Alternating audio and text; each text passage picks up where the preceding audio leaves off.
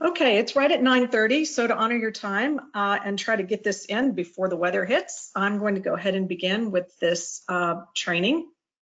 So again, good morning to you. Um, we appreciate you being here today. This webinar is going to introduce the new clinical experience records features that are being released in ECOS. And we will provide training on the functionality of those features. You are in attendance this morning because you may be responsible for reporting data in ECOS for your program, or you may be responsible for various aspects of clinical experiences and or field supervision. We will try to cover everything thoroughly today. However, we know that you may have additional questions, so please ask and we will respond after the webinar and or in a follow-up FAQ document. Please note that your questions will be captured using the questions section on the GoToWebinar toolbar. Questions or comments placed in chat will not be retained. This webinar is being recorded and the recording and related frequently asked questions document will be posted on the program provider resources page on the TEA website following the webinar. Please note that hereafter in this webinar, I will refer to an educator preparation program as an EPP. The EPP is the entity that houses all the different certification programs, such as the undergraduate teacher program, the post-bac principal program, the university-based alternative superintendent program, and the like. Also, when I refer to you, I am referring to your EPP since you are here as a representative of your EPP.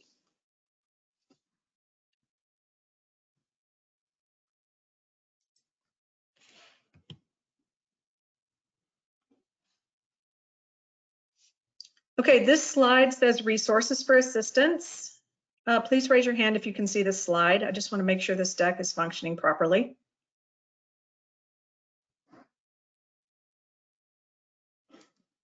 Thank you very much. TEA staff that are available to assist you with the clinical experience record screens and the updated observation screens are listed here.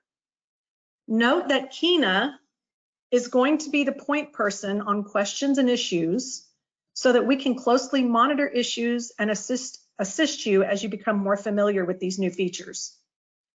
While you can always reach out to any of us with requests for support at any time, it would be helpful if you'll reach out to Kina if you have specific questions or problems around the new update to ECOS. I'm Lori Ayers, and I'm going to be your presenter today.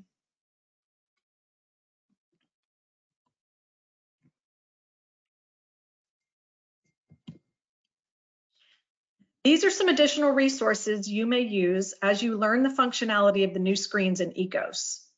You may submit a help desk ticket and of course attach any upload files or screenshots that may be needed for TEA staff to support you.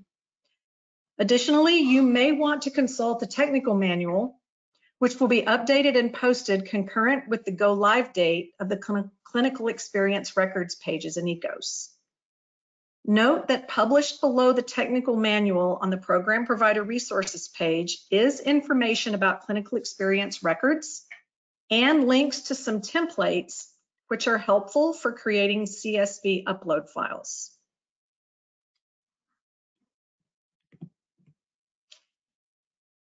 In October, the State Board for Educator Certification, or SBEC, approved this new collection of data related to clinical experiences. They discussed the collection at a series of meetings, and the collection was also discussed at stakeholder meetings throughout the year. Through those discussions and through our IT build processes, we've been able to shape and streamline this collection. Let's take a quick look about why this collection is important and how it will benefit EPPs and the SBEC.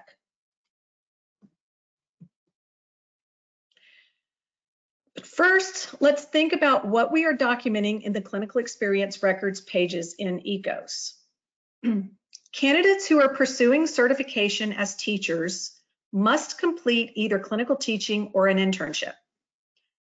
Clinical teaching may be 70 full days or 140 half days. An internship is one full school year. Note that candidates enrolled in undergraduate programs must complete the clinical teaching option, but candidates enrolled in post-bac or alternative certification programs may complete either clinical teaching if the program is approved to offer it or an internship. Candidates who are pursuing certification in non-teacher master's level programs, such as principal, superintendent, school counselor, educational diagnostician, school librarian, and reading specialist in either the postbac or alternative certification route must complete a practicum of 160 hours or more. The practicum may be completed while the candidate is employed in that role, holding an intern or probationary certificate. In all cases, these clinical experiences must be supervised by a field supervisor employed by the EPP and must be supported by campus personnel who are qualified and trained to mentor the candidate throughout the experience.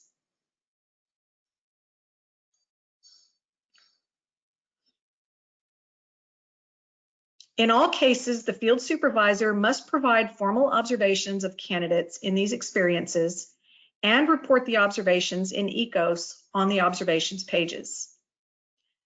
To summarize, it is the clinical teaching, internship, and practicum that are the clinical experiences that will be documented in ECOS. An important note for teacher programs is that the 30 or more hours of early field-based experiences that we call FBE will not be documented in ECOS at this time. EPPs will continue to retain evidence of those 30 or more hours, as well as all other records of candidate admission and preparation in their internal EPP files.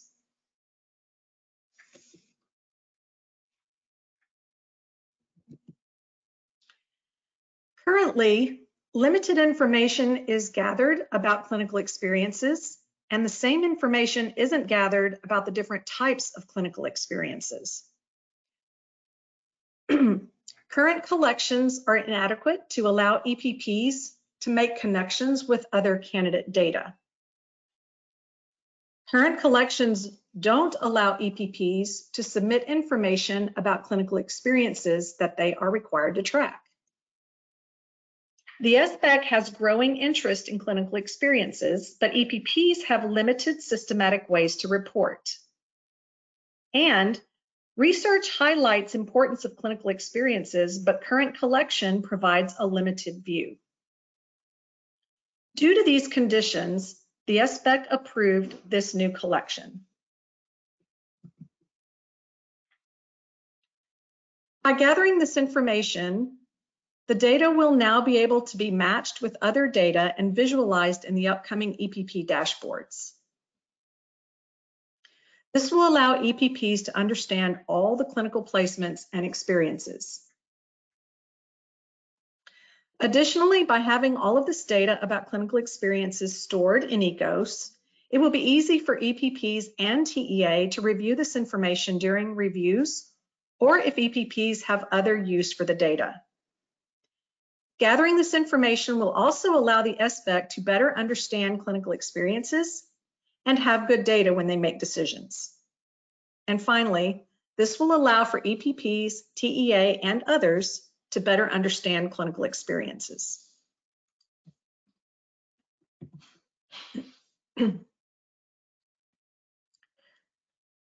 The information that will be recorded in the clinical experience records that you create in ECOS will be the assignment type and the assignment begin and end dates, which have been moved out of the formal observation record, and the assignment location, which is currently entered when recommending the intern or probationary certificate, and the name and TEA ID number of the campus personnel that is assigned to support the candidate, which would be the cooperating teacher, mentor, or site supervisor as applicable to the assignment type. You will see as we go through some screenshots and features of the new pages that when possible, ECOS will auto-populate these data from other places in ECOS. For example, If a teacher candidate is completing an internship, the assignment begin and end dates will auto-populate for you from the effective dates on the candidate certificate. And the assignment location will auto-populate from the assignment location you identified when you recommended the intern or probationary certificate.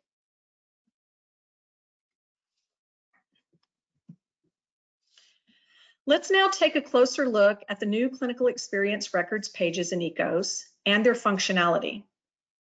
After that, I'll go over some of the validations, error messages, and warning messages that you may encounter, and along the way, I'll point out some new features you'll encounter in some existing screens.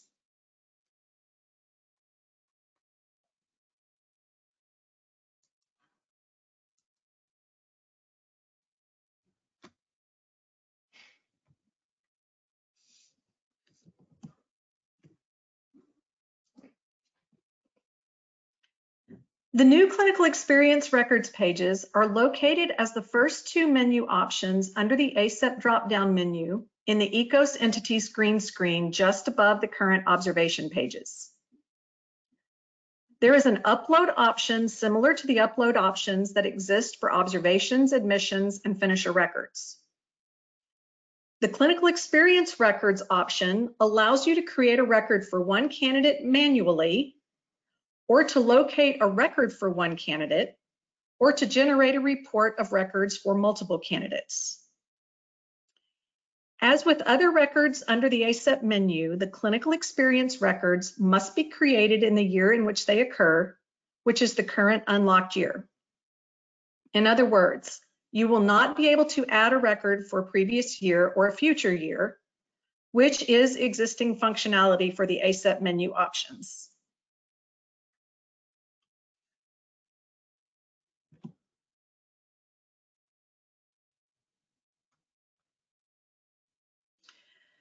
The clinical experience records option will take you to a screen that you may filter by candidate TEA ID number, by assignment begin date, or by academic year. The resulting screen will give you the records for one candidate or the records for all candidates that fall in the date or date range selected in the filter. On this screen, you would filter by TEA ID number to find or create records for one candidate. You can see on the screenshot that I have not yet created a clinical experience record for I'm a teacher.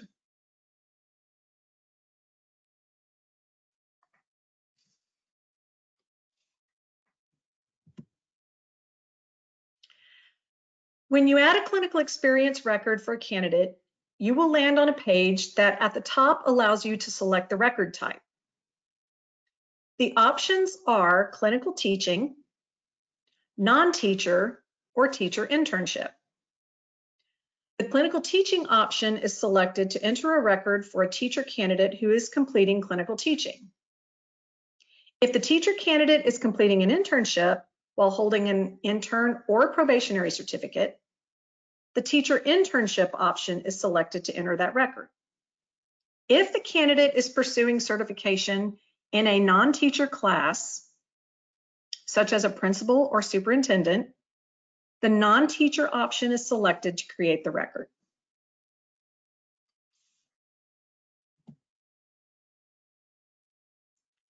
Let's look at an example. If I'm a teacher is a teacher candidate who will be completing the required clinical experience through the clinical teaching option, I will select clinical teaching as the record type. The details section below will then display the fields that I will need to enter to create this record. Santa Claus is the cooperating teacher in whose classroom IMA will complete the clinical teaching assignment. The TEA ID for Santa Claus will not be required this year, but starting September 1st of 2023, it will be required. I will get a warning message now because I'm not including the TEA ID for Santa Claus, the cooperating teacher, but the record will ultimately be created. As I create this record, I continue to populate the required fields by identifying one or more certificate areas pursued during the experience. In this case, IMA is pursuing the Science 7 through 12 certificate. But I can also choose an additional certificate area, such as a special education supplemental, from a checklist drop-down menu, if that is applicable for IMA. I should identify all certificates that will be pursued during IMA's clinical experience. Next, I identify the assignment type as CLIN, C-L-I-N. There is an additional assignment type called CLIN EXC, but I'm not using that option because my EPP does not have a clinical teaching exception approved by the State Board for Educator Certification. Next, I select the clinical experience model that applies to IMA's assignment, which is the 14 weeks option. I do not choose the approved aid option because that is for candidates who've been approved to complete clinical teaching while employed as an educational aid. This model corresponds to the rule in 19 TAC 228.35K. And I do not choose the approved exemption model because that model is selected when reporting candidates who are exempt from the clinical experience. These would include candidates pursuing JROTC certification or those who have received the educational aid exemption. This model corresponds to the rule in 19 TAC 228.35 L1 and 2. Finally, I enter the assignment begin date and end date, which are required, as well as the location of the assignment. After I've performed a quick quality check on my work, I click on the Save button and the record is created. Note the field for the LEA district name has an arrow that denotes a drop-down menu. This is a cool feature, so let's take a quick look at that drop-down menu. When identifying the, the local education agency or LEA district in which IMA will complete the assignment, I can easily select it from a list of locations by using the drop-down menu. This is the same list as the list that is generated in the intern and probationary certificate recommendation screens. The column headers will sort to allow me to easily find and select the location of the clinical teaching assignment but for your convenience, the list defaults to the LEA district name in alpha order.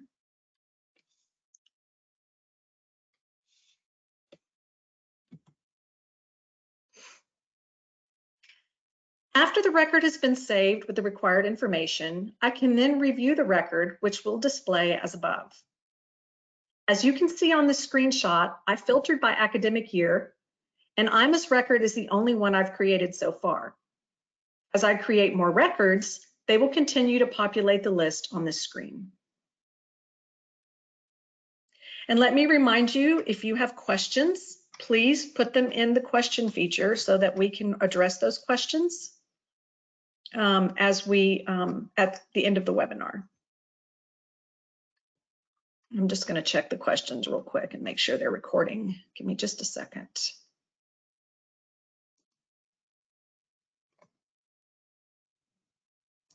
Okay. Good. I'm seeing questions show up. Thank you.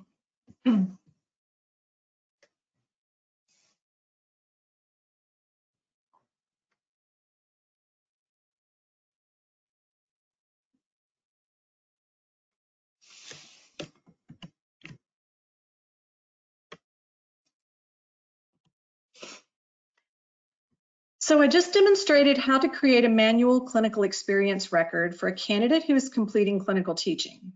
Let's extend our thinking for a moment and look at the other two record type options I could have selected for the clinical experience.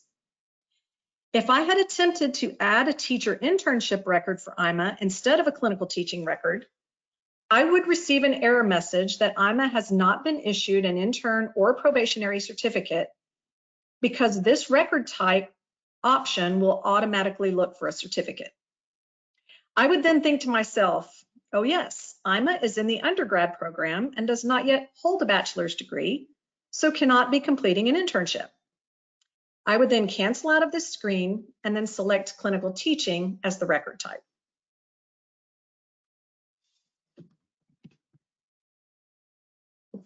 If I do have a candidate, such as Ivana Teach, who holds an intern or probationary certificate, the teacher internship record type will generate this screen that I would use to enter the clinical experience record for Ivana Teach. You can see the certificate name, assignment begin and end dates, and LEA district location of the assignment are automatically pulled in from Ivana's intern certificate. The assignment begin and end dates are the effective dates on the certificate.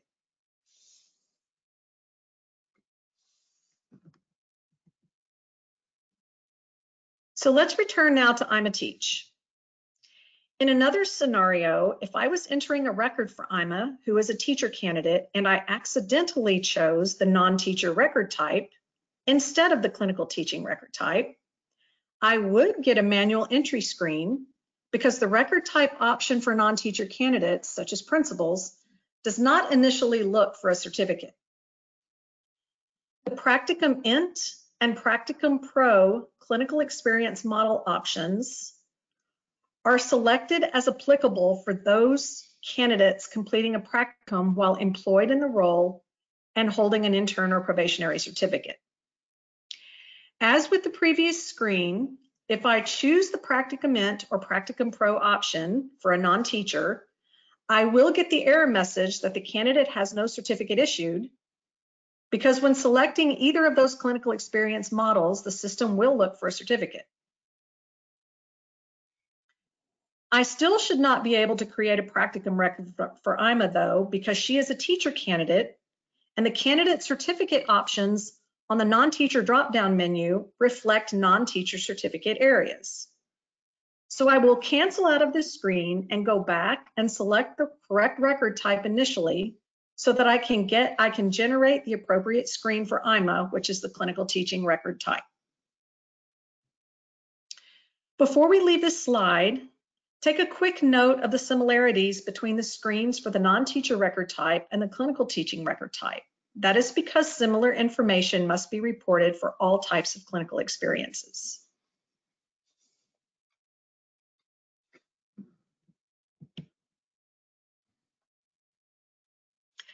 Many of you have been saving clinical experience data in anticipation of adding them when these clinical experience records pages go live. To upload records for multiple candidates now and in future, you will select the Upload Clinical Experience option on the ACEP drop-down menu.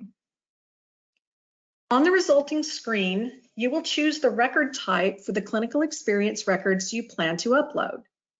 Each record type selected will yield a unique screen that will have instructions for uploading clinical experience data for the specific record type. You would then browse for your CSV formatted file, select the correct file, and then upload as you are accustomed to doing with the other upload options under the ACEP menu.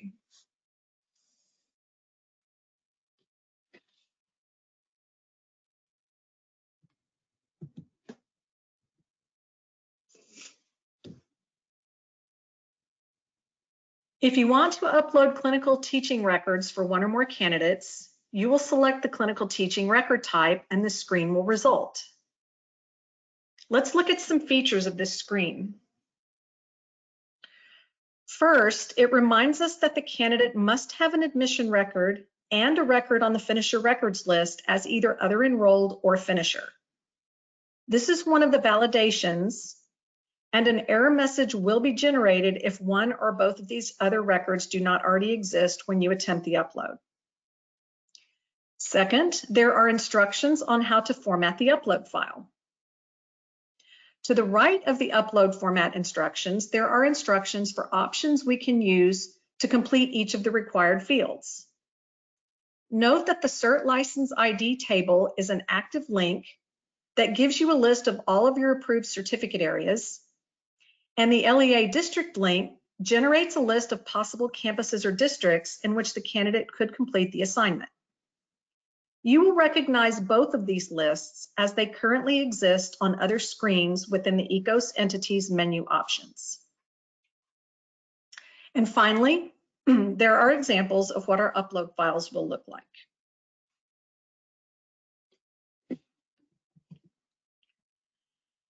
If you want to upload a practicum record for a non-teacher candidate, such as an educational diagnostician, and you select the non-teacher record type, this screen will result.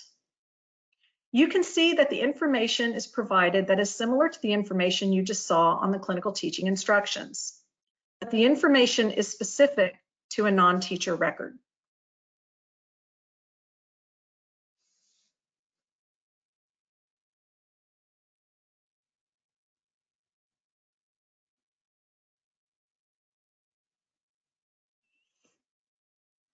And this is an intentional pause to allow you to look over the screen. I'll move forward in just a minute.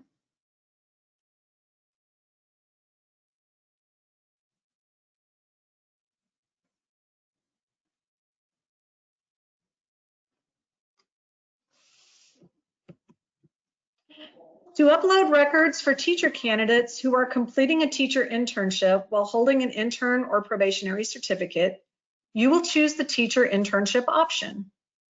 The resulting screen is in a similar format as the previous two screens we just viewed. However, you can see it is much shorter.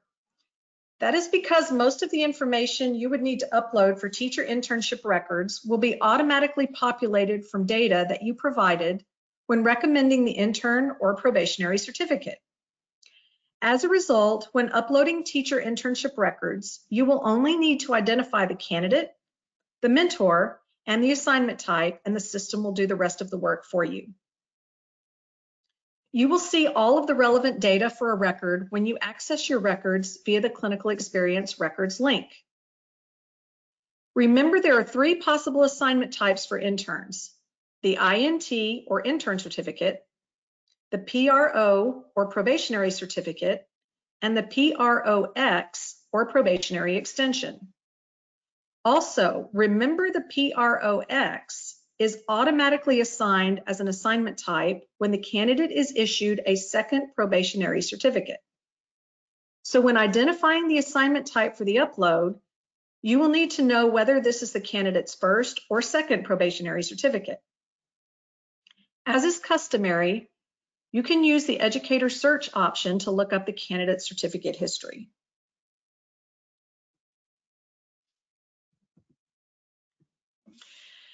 I want to take a moment to point out a cool new feature. Let's say, oops, I accidentally uploaded a file of teacher internship records on the clinical teacher records upload screen. I obviously got an error message that the file failed. There is now an upload file status section at the bottom of the upload clinical experience records instructions page.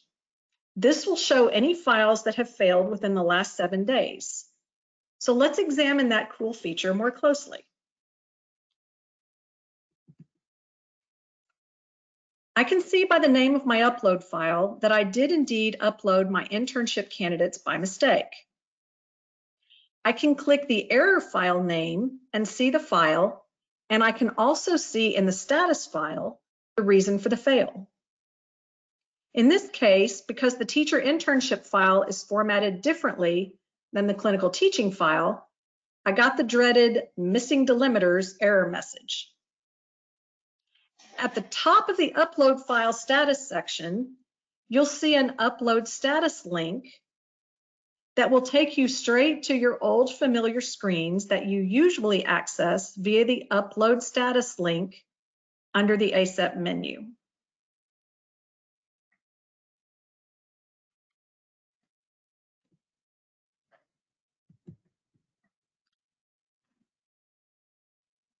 Formal observations that are reported under the ACEP menu occur during the clinical experience.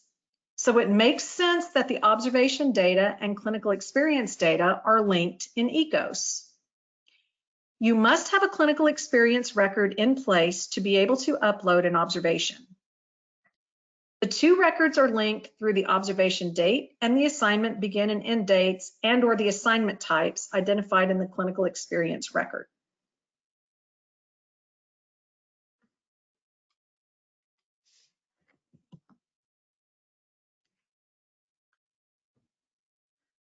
The links to reach your observation screens remain as they were before this clinical experience record update.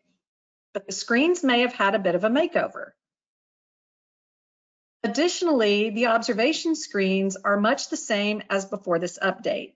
However, you can see you will no longer be adding the assignment begin and end date when you create those records because that information is now collected when you create the clinical experience records.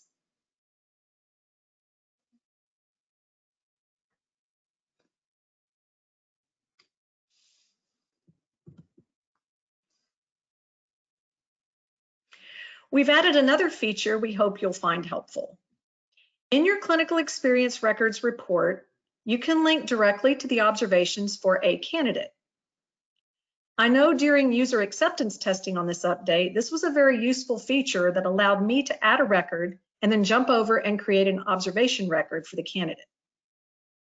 I could also jump to a specific candidate and see all of that candidate's observations. So let's examine that link more closely.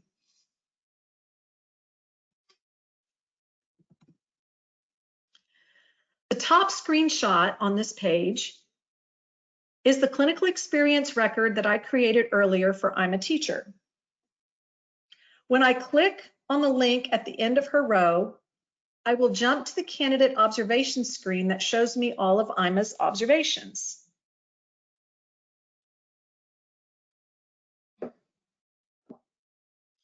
In this case, the bottom screenshot of the candidate observation screen shows that I got an error message that says IMA does not have observations. From the candidate observation screen, I can manually add observations for IMA by checking on the Add Record button.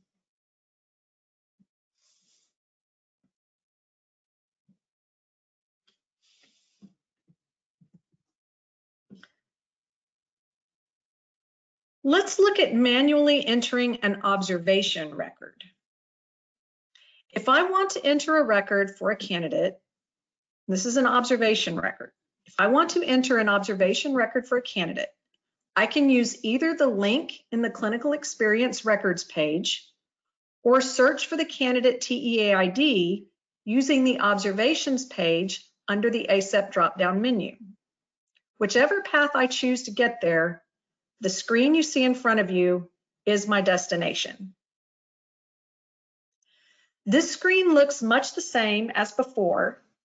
When I select the TEAID of the field supervisor, the screen will auto-populate the name of the field supervisor from my field supervisor list that is under the ACEP menu. I can also see at the bottom the assignment type and assignment begin and end dates that I previously recorded in the clinical experience record. This candidate are also auto-populated.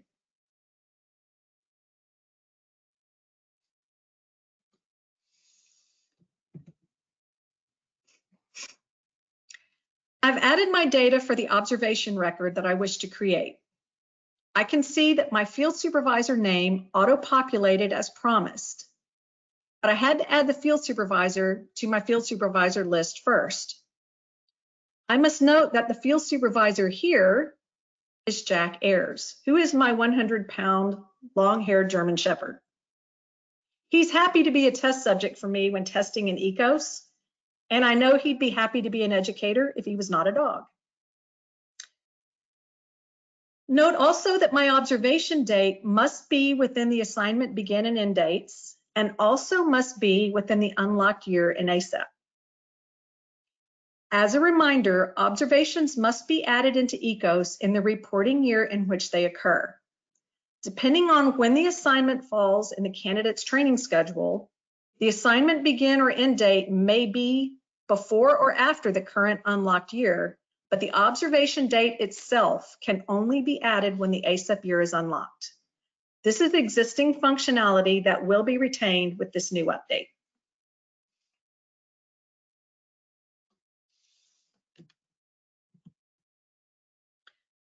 The observation record will populate and present nicely in the candidate's observation list. Using the icons at right you may edit the record if needed or delete the whole record. Note here that if you add the incorrect observation date, you'll need to delete the record and create a new one as the observation date is a field that cannot be edited. And I'll pause here for just a moment to remind you to post your questions in the questions section um, so that we can grab those questions and create an FAQ for you. This is a lot of new information and I wanna make sure everyone is, is clear and concrete on how to use these features.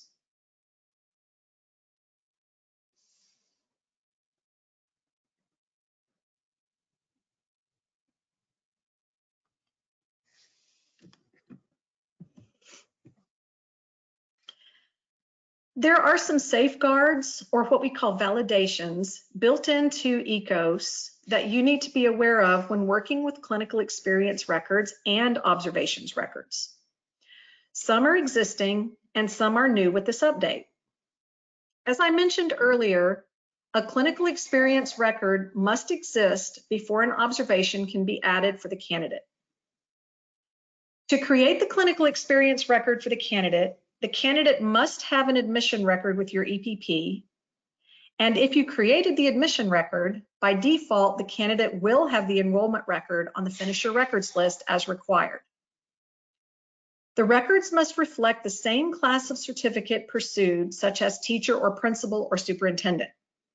In other words, you will receive errors if you create an admission record for a teacher candidate and then upload the clinical experience record for that candidate as a principal candidate. This feature actually helps keep records clean and accurate. The candidate must have a record on the finisher records list for you to upload an observation. This is existing functionality that should not be an issue because the admission record, which is created first in the process, will automatically create the other enrolled record on the finisher records list. The observation date must fall within the assignment begin and end dates and must be within the unlocked reporting year. This is existing functionality that is not changing. That means records must be created in the year in which they occur, which must also be within the unlocked year.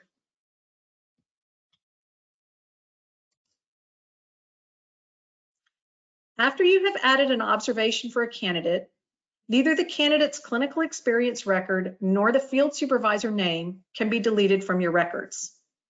Currently, once a field supervisor is tied to an observation, that field supervisor cannot be removed from your field supervisor list in ECOS. That same logic is applied to the clinical experience record. What that means is if the candidate is in the clinical experience and changes location or mentor, you will need to create a new record for the new experience instead of editing or deleting the old record.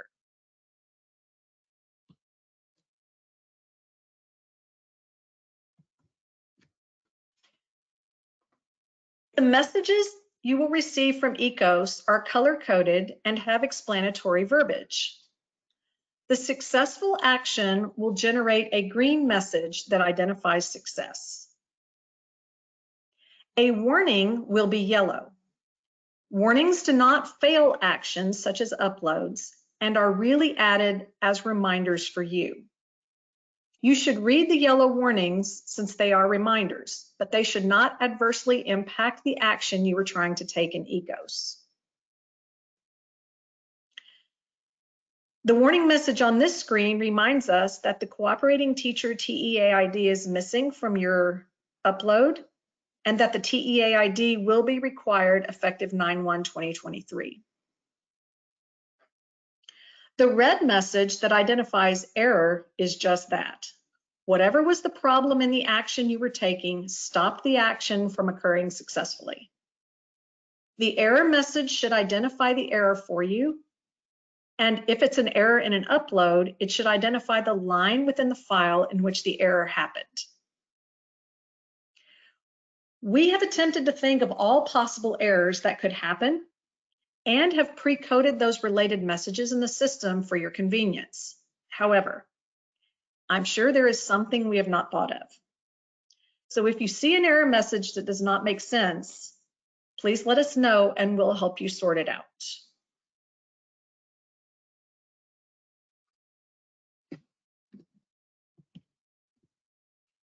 As you can imagine, developing ECOS updates to address all of the possible operational aspects in EPP world is sometimes challenging. There are some unique circumstances that we have predicted, and then there may be some we have not foreseen. For example, if your candidate has two assignments in their clinical experience that cannot be observed in the same classroom, for example, if you have a, a, teacher candidate who has two preps, four hours of math courses, teaching four hours of math and three hours of computer science, then you would create one clinical experience record for each assignment that would have different cooperating teacher or mentor identifications, but the same assignment beginning and end dates. Or let's say you have a candidate who's completing the clinical experience in an approved out-of-state placement.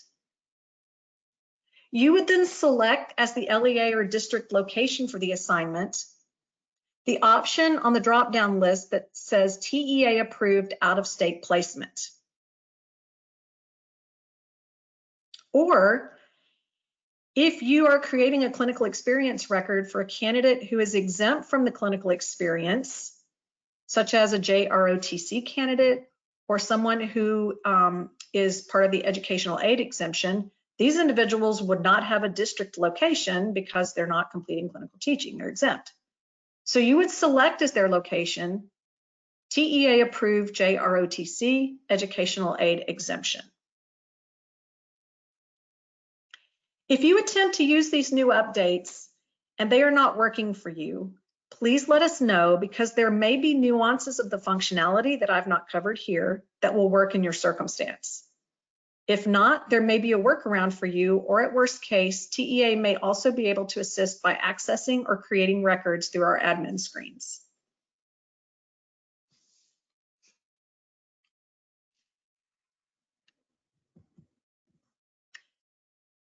So let's recap by thinking about processing a candidate through your EPP.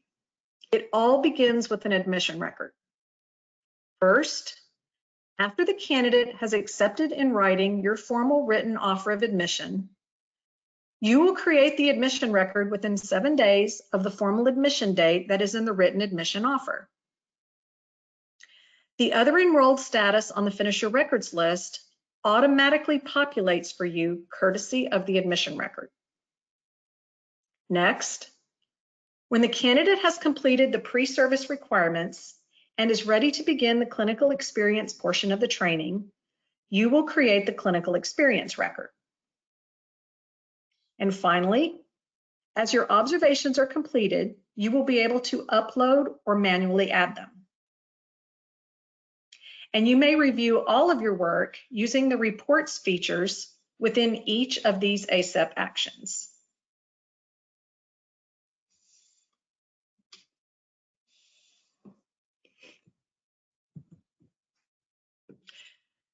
This screen shows a timeline of dates that you may use for planning purposes.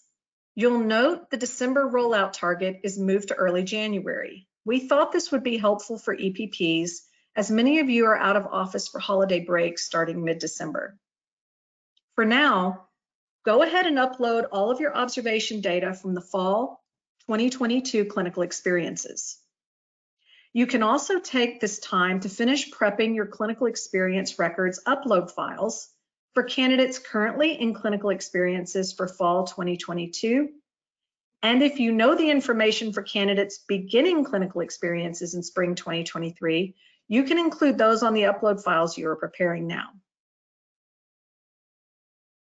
As pointed out previously, once the clinical experience records pages are live, you will not be able to report any observations if there is not a clinical experience record in place for the candidate. Also, as mentioned previously, you will not be required to report the TEA ID of the cooperating teacher, mentor, or site supervisor at this time, but it will be a required field beginning September 1st of 2023. At that time, the system will validate the name and TEA ID number are correct from records that are in ECOS.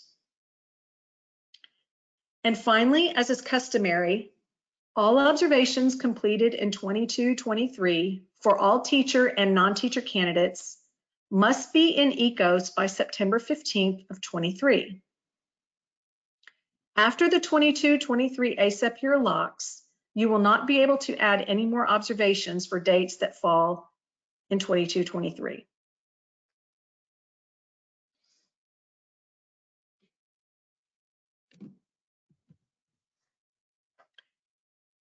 As a reminder, we will update the technical manual with information and step-by-step instructions for entering clinical experience records.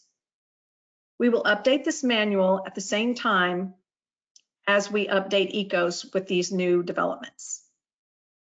We also have the template CSV files available for you currently on the Program Provider Resources page. If you have questions, please submit a help desk ticket.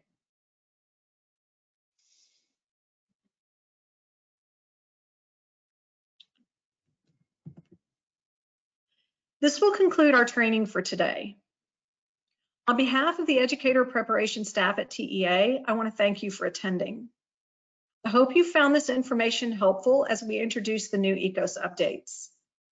We will post a frequently asked questions document with answers to all of the questions asked today, along with the recording of this training on the Program Provider Resources page on the TEA website.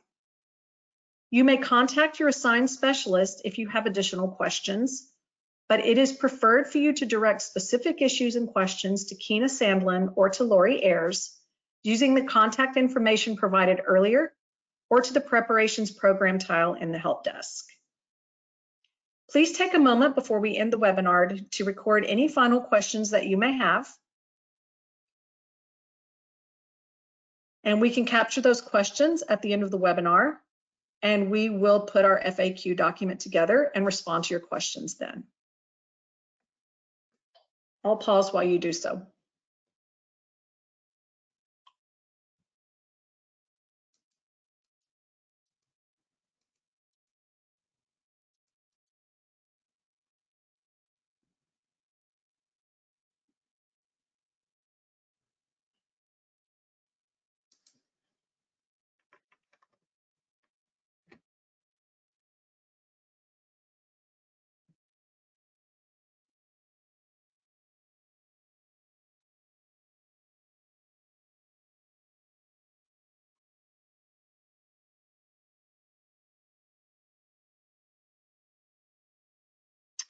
I'm reviewing these questions. Uh, this question says, does this start with fall 2022 clinical teaching? And the answer is yes, it does. You should be collecting that information now um, in preparation to upload observations if necessary after the first of the year, but you can upload those observations now for the fall 2022 clinical teaching, but you'll want to enter their clinical experience records um, for the fall 2022 clinical teachers uh, in January when these go live. Thank you for that question.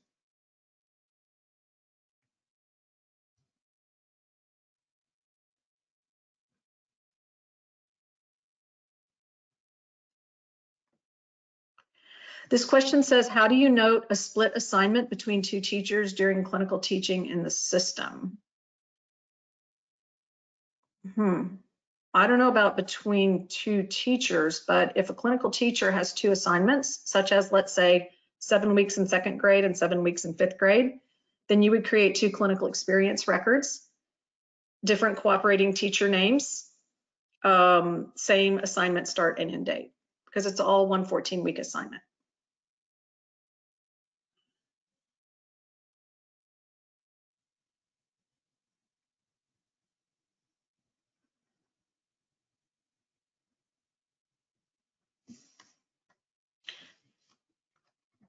Okay.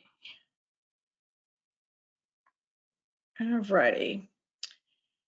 Haven't seen too many more questions come in. It looks like they've slowed down. So I'll go ahead and end the webinar now. We will get the, all of these questions. And as I said, we'll put an FAQ together and put them out there for you. And if you have additional questions after the webinar and you want to send them to Kina or to me, Lori Ayers, um, you can do so and we'll add those to the FAQ document as well.